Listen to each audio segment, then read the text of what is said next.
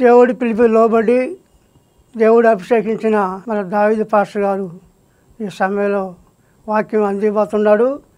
ఈ వాక్యం విన్న ప్రతి బిడ్డ కూడా దైవ దీనులు పొంది ఆశీర్వదించబడాలని నా మనవి. క్రీస్తు కృపా మినిస్ట్రీస్ సర్వాధికారి అనే ఆధ్యాత్మిక కార్యక్రమానికి స్వాగతం.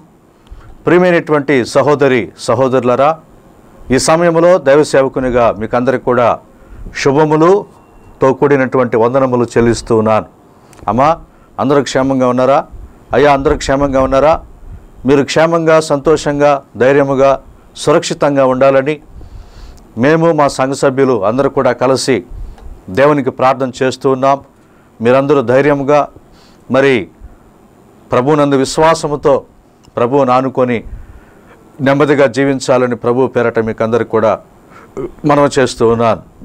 ప్రైజ్ ద లాడ్ హలెలుయ అందరు కూడా తల ఉంచినట్లయితే ఈ సమయంలో దేవుని యొక్క వాక్యాన్ని మనం ధ్యానం చేసుకోబోతూ ఉన్నాం. మమ్మల్ని మిక్కిలిగా ప్రేమించిన మా ప్రియ పరలోకపు తండ్రి పరిశుద్ధుడా సర్వశక్తిమంతుడా మీ పాదాలకు స్తోత్రాలు నాయన. అయా నీ వాక్యం చెప్పుటకు నేను నిలబడుకుని ఉండగా నన్ను మరుగుపరచండి ప్రభా. పరిశుద్ధాత్మతో ఎత్తిపట్టిన నీ ధర్మశాస్త్రములో ఆశ్చర్యకరమైనటువంటి సంగతులను చూచినట్లు గూఢమైనటువంటి సత్యాలు తెలుసుకున్నట్లు అయా నీ వాక్యం ఎద్దకు వచ్చి వాక్యం వింటున్న ప్రతి బిడ్డ హృదయాలను మార్చి నాయనా నీ వాక్యముతో పెనవేసుకొని జీవించే జీవితాలు మాకు అనుగ్రహించమని. నజరేయుడైన యేసుక్రీస్తు నామమును స్తుతించి ప్రార్థించి అడిగి వేడుకొనుచు ఉన్నాం ప్రియా పరలోకపు తండ్రి. ఆమెన్. క్రీస్తునందు ప్రియమైనటువంటి సహోదరి సహోదరులరా ఈ యొక్క దినము ఒక అంశాన్ని మనం పరిశీలన చేసుకుందాం. ఆ అంశం పేరేంటంటే దేవుని యందు భయభక్తులు కలిగిన భార్య. దేవుని యందు భయభక్తులు కలిగిన భార్య అనే యొక్క అంశములో మనం మూలవాక్యం చదువుకున్నట్లయితే పిల్లల నూట ఇరవై ఎనిమిదవ కీర్తన ఒకటో వచనము మూడో వచనాన్ని మనం చదువుకుందాం. యహోవా ఎందు భయభక్తులు కలిగి ఆయన త్రోవల యందు నడుచువారందరూ ధన్యులు. పిల్లరా ఇక్కడ మనం గమనిస్తే యహోవా ఎందు భయము భక్తి కలిగి ఉండాలి. కొంతమందికి భయం ఉంటే భక్తి ఉండదు భక్తి ఉంటే భయం ఉండదు. అయితే ప్రిలరా ఇక్కడ సొలోమోను మహాజ్ఞాన్ని రాస్తూ ఉన్నాడు. ఏమని రాస్తాడంటే యహోవయందు భయం ఉండాలా భక్తి ఉండాలా? యహోవయందుల భయము మనకు ఐశ్వర్యం. యహోవయందుల భయము మనకి ఇంపైనటువంటి సువాసనగా ఉండాలా? దానితో కూడా భక్తి ఉండాలా? భయము భక్తి కలిగి దేవుని వాక్యం అనే త్రోవలో నడుచు వారందరూ ధన్యులు. వారందరూ అంటే ప్రియులరా గత వారం మనము ఒక ప్రోగ్రాం చేశాం. దేవుని ఎందు భయభక్తులు కలిగిన భర్త ఎలా ఉండాలి? గత వారంలో మీరు చూస్తున్నారు. ప్రియులరా దేవుని ఎందు భయభక్తులు కలిగిన భర్త దేవుని ఎందు భయభక్తులు కలిగిన భార్య దేవుని ఎందు భయభక్తులు కలిగిన పిల్లలు వీరందరూ ధన్యులు. అంటే ఆశీర్వదించబడినటువంటి వారు. అందుకని యహోవయందు భయభక్తులు కలిగి ఆయన త్రోవలందు నడుచు వారందరూ ధన్యులు. అంటే భయభక్తులు కలిగినటువంటి భార్య కూడా అనే అర్థం ప్రియులారా. కాబట్టి దేవుని ఎందు భయభక్తులు కలిగినటువంటి భార్య ధన్యురాలు అని ప్రభు పేరట మీకు అందరికీ కూడా మనం చేస్తూ ఉన్నాను. ప్రియమైనటువంటి దేవుని బిడ్డలారా దేవుని ఎందు భయభక్తులు కలిగిన భార్య భయభక్తులు అంటే పోయిన ఎపిసోడ్లో మీకు నేను చెప్పాను. ఏం చెప్పానంటే సామెతలు ఎనిమిది పదమూడు ప్రకారంగా సామెతలు మూడు ఐదు ఆరు ప్రకారంగా ప్రియులరా చెడుతనమును అసహించుకోవటమే దేవుని యందు భయభక్తులు కలిగి ఉండటం. చెడుతనాన్ని ఎప్పుడైతే మనం అసహించుకుంటామో దేవుని యందు భయభక్తులు కలిగి ఉంటాము. అప్పుడు నీ దేహానికి ఆరోగ్యం నీ ఎముకలకు సత్తవ కలుగునని పోయిన వారం మనం గమనించాం. ప్రియమైనటువంటి దేవుని బిడ్డలారా మరి ప్రియమైనటువంటి తల్లి అక్క చెల్లి మీరు గమనించండి ఎవరైతే దేవుని ఎందు భయభక్తులు కలిగి ఉంటారో ఖచ్చితంగా వారు చెడుతనాన్ని అసహించుకుంటారు. చెడుతనాన్ని విడిచిపెడతారు. చెడుతనాన్ని అసహించుకోకుండా విడిచిపెట్టకుండా నేను దేవుని ఎందు భయభక్తులు గల భార్యను అంటే ప్రయోజనం లేదు. కాబట్టి ఈ యొక్క విషయాన్ని ప్రియ సహోదరులు గమనించవలసిందిగా ప్రభు పేరట మీకు అందరు కూడా మనం చేస్తూ ఉన్నాను. ప్రియమైనటువంటి దేవుని బిడ్డలారా దేవుని ఎందు భయభక్తులు కలిగి ఆయన త్రోవల ఎందు నడుచు వారందరూ ధన్యులు. మరి ప్రియులరా మనం గమనిస్తే ఈ యొక్క దేవుని ఎందు భయభక్తులు కలిగిన భార్య గురించి ఒక మూడు పాయింట్స్ మీకు తెలియజేస్తాను ప్రియులరా.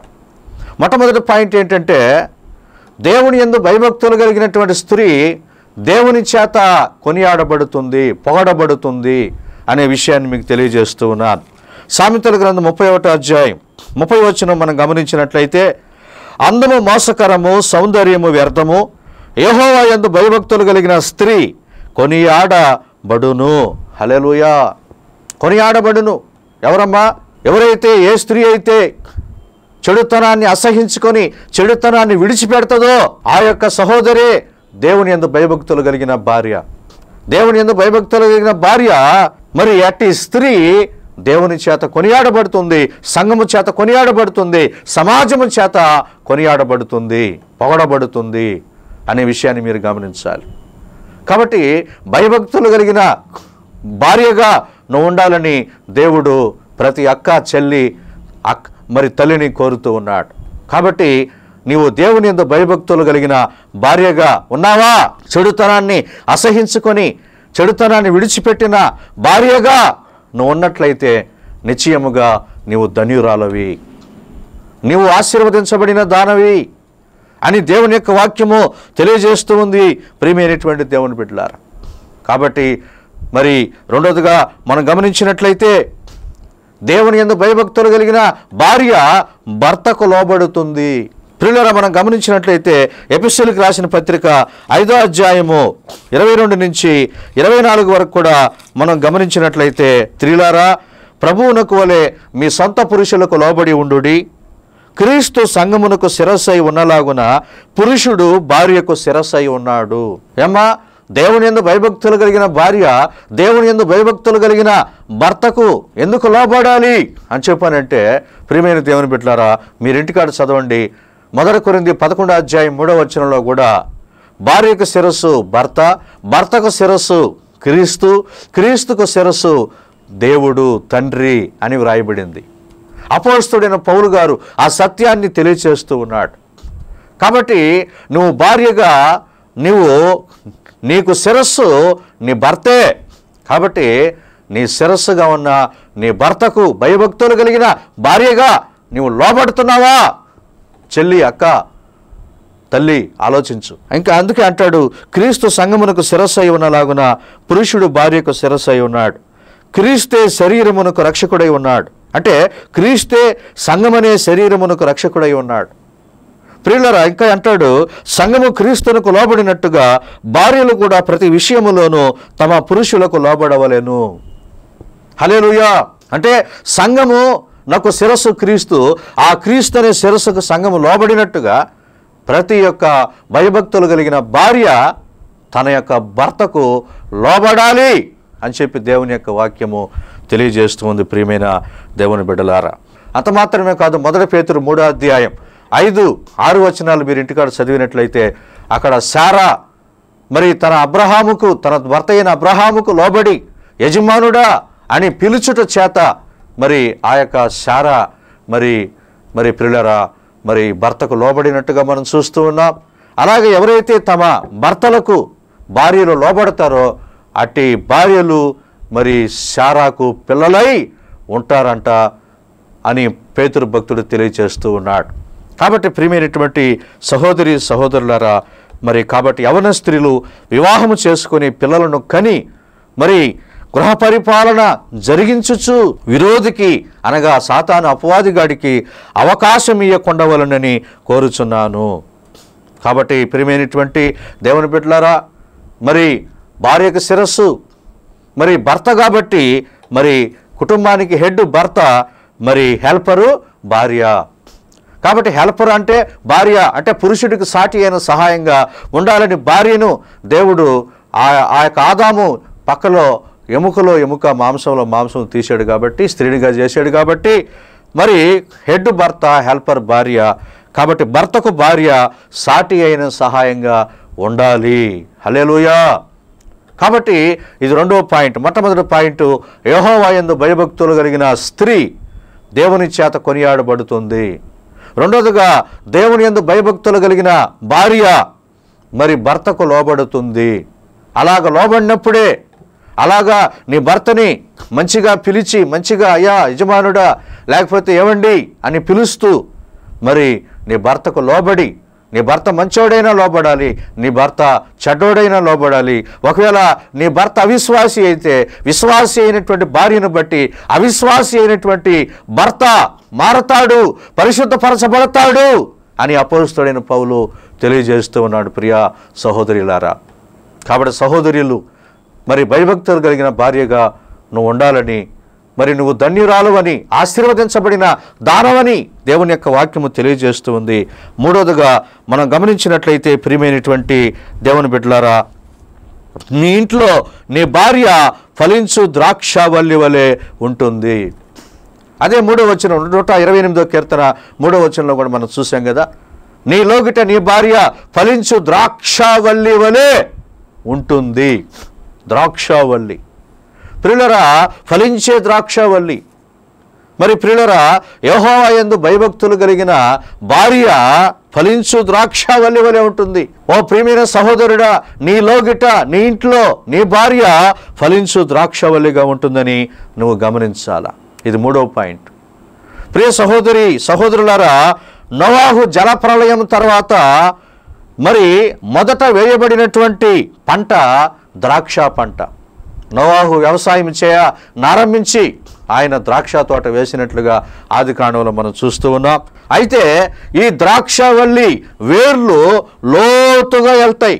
లోతుగా వెళ్ళి పైకి ఎదగటానికి పైకి ఎదగటానికి మరి పిల్లరా మరి దానికి ఏం కావాలంటే పైకి ఎగబాకి చుట్టుపక్కల కూడా అది వ్యాపించి ఆ పందిరంతా అల్లుకోవటానికి మరి పిల్లరా దానికి ఏం కావాలా?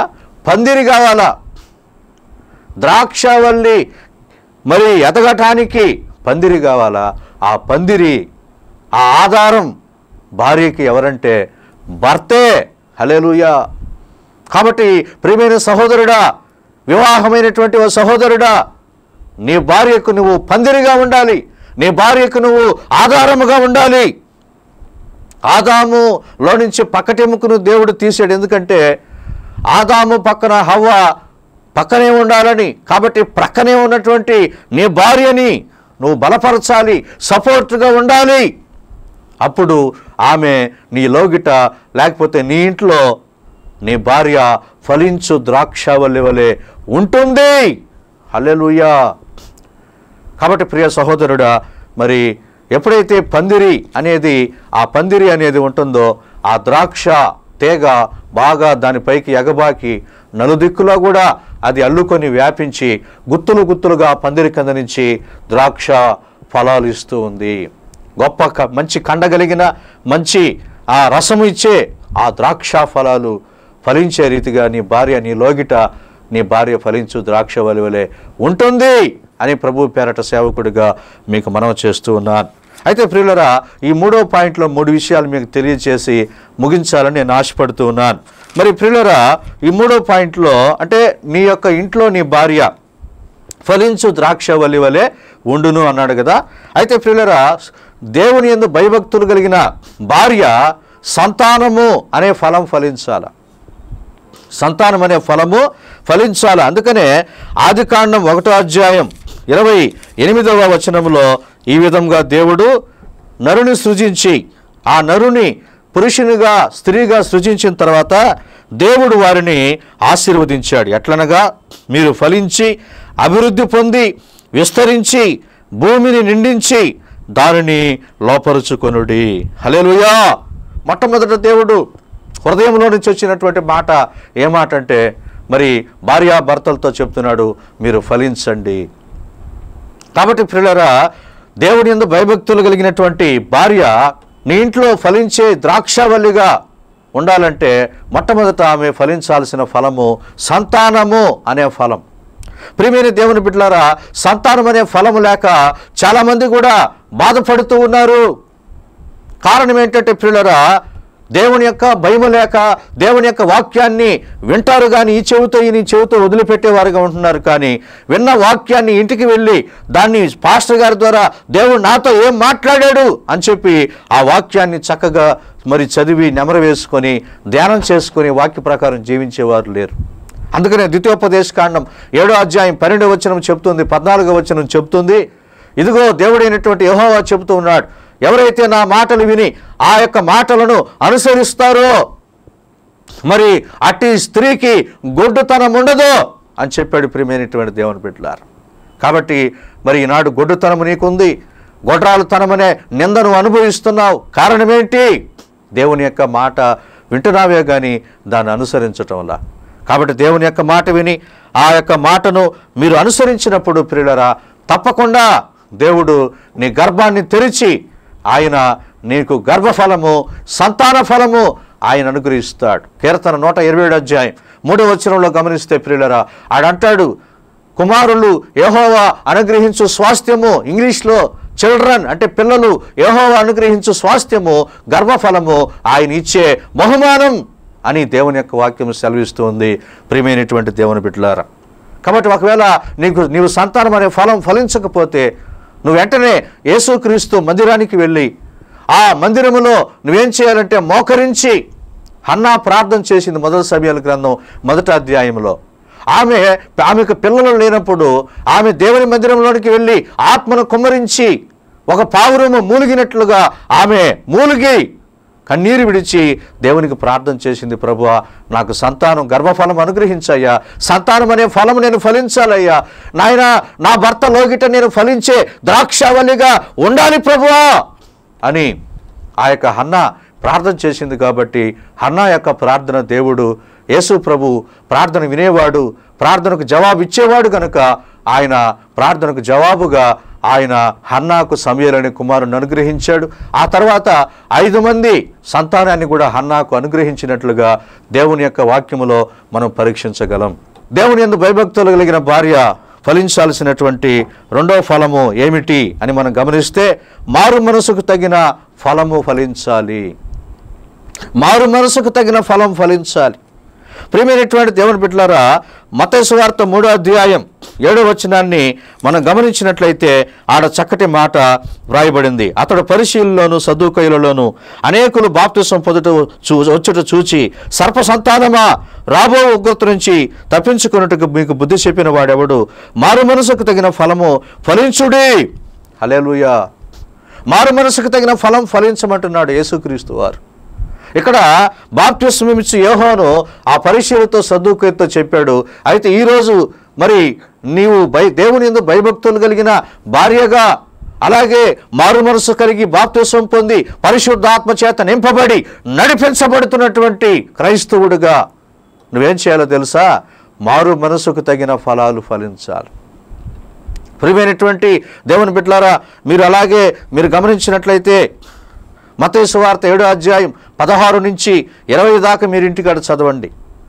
మారు మనసు పొందకముందు మనము చెడ్డ చెట్టు. అయితే ప్రియులరా మారు మనసు పొందిన తర్వాత మనం మంచి చెట్టు మంచి చెట్టు. అయితే చెడ్డ చెట్టు చెడ్డ ఫలాలు ఫలించింది మంచి చెట్టు మంచి ఫలాలు ఫలించింది. అయితే మారు మనసు పొందక మునుపు మనము చెడ్డ ఫలాలు ఫలించాము దానివల్ల ప్రభువుకి సంతోషం లేదు. అయితే మారు మనసు పొందిన తర్వాత ఎప్పుడైతే క్రీస్తు సువార్తను విని విశ్వసించి పరిశుద్ధాత్మ అంతరంగంలో మార్పు కలుగు చేయటం ద్వారా ఎప్పుడైతే మనం మారు మనసు అనుభవం పొందామో ఆ మారు మనసు పొందిన తర్వాత బాప్తిసం పొందిన తర్వాత పరిశుద్ధాత్మతో నడిపించబడుతున్న తర్వాత మారు మనసుకు తగిన ఫలాలు మనం ఫలించాలా? అలాగ ఫలించకపోతే దేవుడికి నీ పట్ల ఏమాత్రము సంతోషము లేదు. చెల్లి అక్క తల్లి జ్ఞాపకం చేసుకో. నా చెల్లిగా నేను చెప్తున్నాను నా అక్కగా నేను చెప్తున్నాను నా తల్లిగా నేను చెప్తూ ఉన్నాను మారు మనసుకు తగిన ఫలము నీ భర్తలో గిట నువ్వు ఫలించే ద్రాక్షవల్లిగా ఉండాలి. మారు మనసుకు తగిన ఫలాలు. ఈనాడు క్రైస్తవులు మారు మనసు పొంది బాప్తిసం పొందుతున్నారు కానీ ఆత్మచేత నింపబడుతున్నారు కానీ ప్రియులరా మారు మనసుకు తగిన ఆత్మ ఫలాలు గలతి ఐదు ఇరవై రెండులో మనం గమనిస్తే ప్రేమ సంతోషం సమాధానం సాత్వికము ఆశా నిగ్రహము ఇలాగ తొమ్మిది ఫలాలు ఆడ మీరు చదవచ్చు ప్రియులరా. ఆ తొమ్మిది ఫలాలు మారు మనసుకు తగిన ఫలాలు మనం ఫలించాలి. అందుకే యోహన్ సువార్త పదిహేను అధ్యాయం ఎనిమిదో వచనంలో యేసుక్రీస్తు వారు అంటూ ఉన్నాడు ఏమంటాడంటే మీరు బహుగా ఫలించటం వలన నా తండ్రి మహిమపరచబడును. హలేలుయా కాబట్టి పిల్లరా మారు మనస్సు పొందకముందు మనం చెడ్డ చెట్టుమి చెడ్డ చెట్టు చెడ్డ ఫలాలు ఫలిస్తుంది మంచి చెట్టు మంచి ఫలాలు ఫలిస్తుంది. అది మంచి చెట్ట చెడ్డ చెట్టు అనేది దాని ఫలాల వల్ల మనకు తెలిసిపోద్ది. కాబట్టి మంచి చెట్టు ఫలింపని ప్రతి చెట్టు కూడా నరకబడి నిత్య నరకములో వేయబడుతుంది. తప్పదు అని ప్రభు సేవకుడిగా మీకు మనం చేస్తూ ఉన్నాను. కాబట్టి మారు మనసుకు తగిన ఫలాలు ఫలించండి. ప్రియ క్రైస్తవుడా సహోదరి సహోదరుడా మరి దేవుని యొక్క బిడ్డ ప్రభువు యొక్క ప్రభు కుమారుడా మరి ప్రభు కుమార్తె మారు మనసుకు తగిన ఫలాలు మీరు ఫలించినప్పుడే మరి ఆ చెట్టుని ఇంకా దానికి ఆయన పాదు చేసి మరి నీరు పోసి ఎరువేసి ఇంకా దాన్ని సంరక్షించి ఆయుష్ పోసి ఆ చెట్టుని ఇంకా కాపాడుతాడు.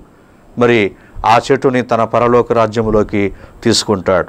కాబట్టి పిల్లరా మారు మనసుకు తగిన ఫలాలు మనం ఫలించాలా? మారు మనసుకు తగిన ఫలాలు మనం ఫలించి ఆ ఫలాలు ఆ ప్రభువుకి ఇచ్చి ఆ ప్రభువు ఆ ఫలాలు తిన్న తర్వాత ఆ ప్రభు యొక్క హృదయాన్ని సంతృప్తి పరిచే వారంగా మనం ఉండాల. ఆమెన్. హల్లెలూయా. కాబట్టి ప్రియమైనటువంటి సహోదరి సహోదరులరా మారు మనసుకు తగిన క్రియలు పరిశుద్ధాత్మ ఫలములు మనం ఫలించి అలాగా ప్రభువుని మనము సంతృప్తి పరచాలా మన జీవితాంతం. హలేలుయా కాబట్టి ప్రియమైనటువంటి దేవుని బిడ్డలారా దేవుని ఎందు భయభక్తులు కలిగిన భార్య మొట్టమొదటగా ఫలించాల్సిన ఫలం మొట్టమొదట సంతానం అనే ఫలం ఫలించాలి. రెండవదిగా మారు మనసుకు తగిన ఫలాలు ఫలించాలని దేవుని సేవకుడిగా ప్రతి క్రైస్తవ సహోదరుణ్ణి ప్రతి సహోదరిని మరి నేను ప్రభు వాక్యము ద్వారా హెచ్చరిస్తూ ఉన్నాను. కాబట్టి మిమ్మల్ని మీరు సరి చేసుకోండి. మారు మనసుకు తగిన ఫలాలు మీరు ఫలిస్తే నీ ఆయుష్ను దేవుడు పొడిగిస్తాడు. నీకు ఆరోగ్యం ఇస్తాడు. నీ కుటుంబాన్ని దీవిస్తాడు. నీ కుటుంబాన్ని ఆశీర్వదిస్తాడు. శాంతి సమాధానం సమృద్ధి సంతృప్తి మరి నిత్య ఆనంద తైలముతో నీ తలని అభిషేకించి ఆ ప్రభు మీ కుటుంబాన్ని సంరక్షించి ఆయన కాపాడుతాడు ప్రియమైన దేవుని బిడ్డలారా. తద్వారా ఆయన ఈ లోకాన్ని విడిచిన వెంటనే ఈ లోకములో ఉన్న అంతవరకు కూడా మీ బ్రతుకు దినములనిట మిమ్మల్ని ఆయన కాపాడుతాడు. మీ బ్రతుకు దినములనిట కృపాక్షేమాలు మేము వెంట వస్తాయి. తదుపరి ఆయన పరలోక రాజ్యాన్ని కూడా మనందరికీ ప్రభు అనుగ్రహిస్తాడు. హలెలుయ ఈ మాటలు సత్యము. మరి ఆత్మ సంగములతో చెప్పుచున్న మాట చెవిగల వాడు వినుగాక ఆమెన్. హలేలుయ కాబట్టి ప్రియమైనటువంటి దేవుని బిడ్డలారా దేవుని ఎందు భయభక్తులు కలిగిన భార్య మరి ఫలించాల్సిన మూడో ఫలం ఏమిటంటే ప్రియ దేవుని బిడ్డలారా సమృద్ధి ఆహారము సిద్ధపరచుట అనే ఫలం ఫలించాలి. ప్రియులరా రెండు రకాలు మొట్టమొదట మరి శరీర ఆహారం. శరీర ఆహారాన్ని అంటే భయభక్తులు కలిగిన భర్త ఏం చేస్తాడు? ఇంటికి పని చేసుకొని పొద్దు నుంచి సాయంత్రం వరకు కూడా ఇంటికి సరుకులన్నీ తీసుకొస్తాడు. సరుకులు తీసుకొచ్చిన తర్వాత ఆ సరుకులతో మంచి వంట సిద్ధపరిచి పెట్టడం భార్య భార్యగా నీ ధర్మం నీ భర్తకి నీ పిల్లలకి మంచి ఆహారాన్ని మంచి రుచిగల ఆహార పదార్థాలు మంచి బలము కలిగిన ఆహార పదార్థాలు నీ భర్తకి నీ భార్యకి నువ్వు వండి పెట్టాలి. ప్రియమైన వార్లరా అంతకంటే ముఖ్యమైన భోజనం ఇంకోటి ఉంది. అదే ఆత్మ సంబంధమైనటువంటి అక్షయ ఆహారం. దేవుని వాక్యం ప్రభు చెప్తాడు మతేసు వార్త నాలుగో అధ్యాయం నాలుగో వచనంలో మనుషుడు రొట్టె వలన మాత్రము జీవించుడు కానీ దేవుని నోట నుండి వచ్చు ప్రతి మాట వలన మనిషి జీవిస్తాడు అని దేవుని యొక్క వాక్యంలో మనం చూస్తూ ఉన్నాం ప్రియులారా కాబట్టి ఈ శరీరం జీవించాలంటే శరీర ఆహారం తినాల. అయితే మనలో ఉన్నటువంటి ఆత్మ జీవించాలంటే మరి దేవుని యొక్క వాక్యాన్ని మనం భుజించాల. మరి ప్రియులరా మరి ఇరిమియా దేవుని వాక్యాన్ని భుజించాడు. ఎహెజ్కేలు దేవుని వాక్యాన్ని భుజించాడు. కాబట్టి దేవుని యొక్క వాక్యాన్ని మనం భుజించాలా?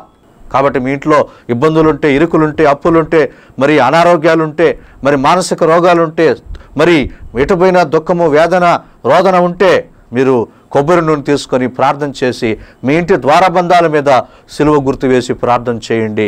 మరి నీళ్ళు నీళ్ళు ప్రార్థన చేసుకుని మీ ఇంటి చుట్టూ చల్లండి.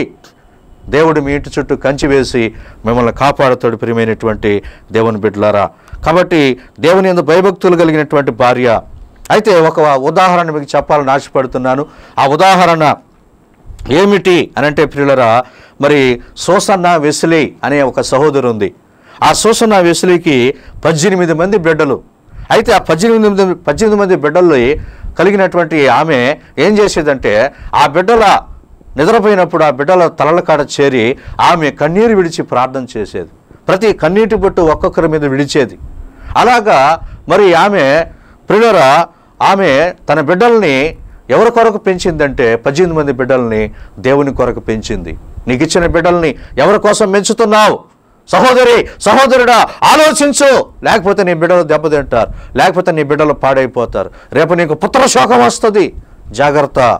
ప్రియమైనటువంటి వాళ్ళరా ఆ సోసన్న వెసిలి ఇల్లు ఇంగ్లాండ్లో నూట పది కిలోమీటర్ల దూరములో ఆమె ఇల్లు పాడైపోయి పాద్దయిపోయింది ఇప్పటికే ఉంది ఆ ఇల్లు.